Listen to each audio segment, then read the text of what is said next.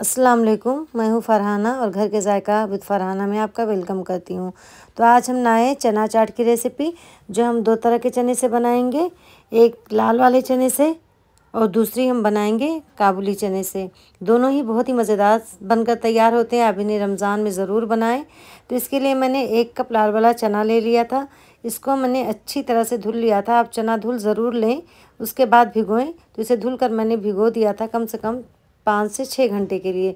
वैसे ये पाँच से छः घंटे में बहुत अच्छी तरह ही भीग जाते हैं। अब हम चूल्हे पे कुकर को रख देते हैं जब कुकर गर्म हो जाएगा, उसमें हमने एक टेबल स्पून ऑयल डाल दिया है, मस्टर्ड ऑयल। मस्टर्ड ऑयल को डालकर आप उसे थोड़ी देर गर्म होने दें। जब उसमें धुआँ निकलने लगे, तब आप उसमें चीज़ें डालें, वरना तेल की स्मेल आएगी।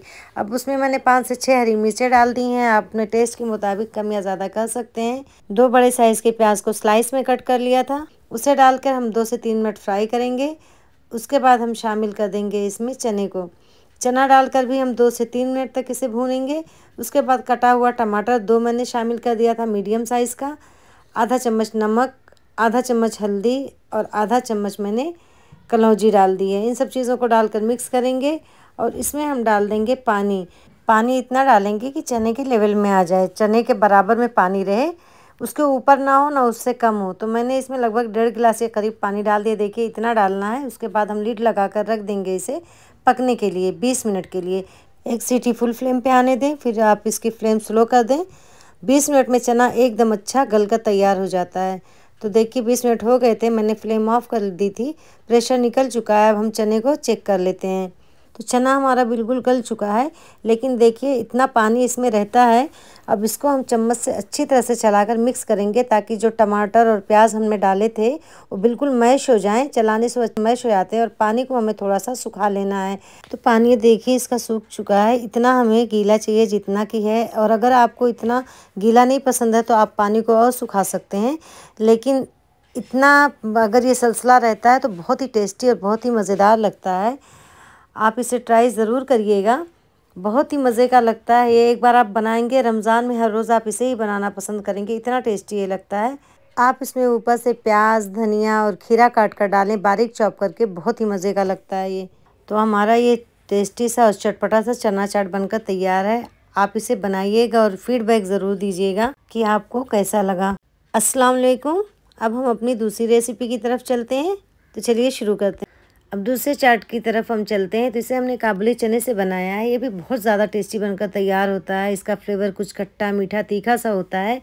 बहुत ही लाजवाब लगता है खाने में। तो इसके लिए हमने डेढ़ कप ले लिया था चने को, काबुली चने को इसे भिगा दिया था धुलकर पाँच से छः घंटे के लिए। और इसमें ज़्यादा कुछ मसाले नहीं जाएँगे, थोड़े ही मसाले जाएँगे, जिसमें कि हमने लिया है तीन टेबल स्पून भरकर इमली की चटनी, पाँच से छः हरी मिर्चें, बारीक चौक की हुई एक चम्मच ज़ीरा और लाल मिर्च का भुना हुआ पाउडर। आधा चम्मच हल्दी ली हुई हमने और एक चम्मच शक्कर ली है।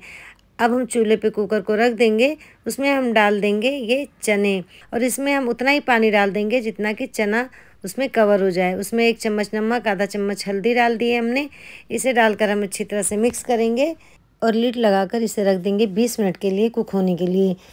एक सीटी फुल फ्लेम पे आने देंगे, फिर स्लो कर देंगे, बीस मिनट में बिल्कुल अच्छी तरह से ये गल तैयार हो जाता है। बीस मिनट हो गए थे, हमने फ्लेम ऑफ़ कर दी है प्रेशर निकल चुका है, अब हम इसे चेक कर लेते हैं। तो देखिए, चना हमारा बिल्कुल ही गल गया है अच्छी तरह से। अब हम फ्लेम को ऑन कर देंगे और पाँच मिनट के लिए कुकर को रख देंगे। उसमें हम डाल देंगे हरी मिर्ची जो हमने काट ली हुई थी।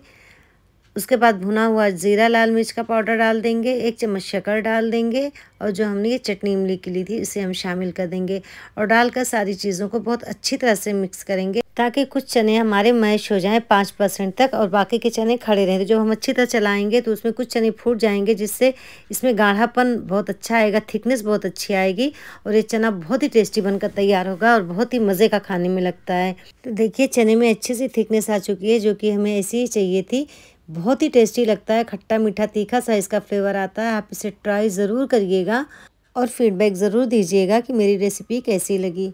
और अगर मेरी रेसिपी आपको पसंद आती हो तो इन्हें लाइक, शेयर, सब्सक्राइब ज़रूर करें और बेल आइकन को प्रेस करना ना भूलिएगा। मिलते हैं एक नई सी और अच्छी सी रेसिपी के साथ। तब तक के लिए अल्लाह हाफिज़।